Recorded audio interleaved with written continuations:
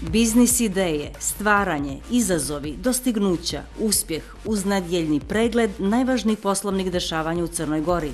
Ključne su teme nove specijalizovane emisije Biznis zona. Ponedjeljkom u 18.05.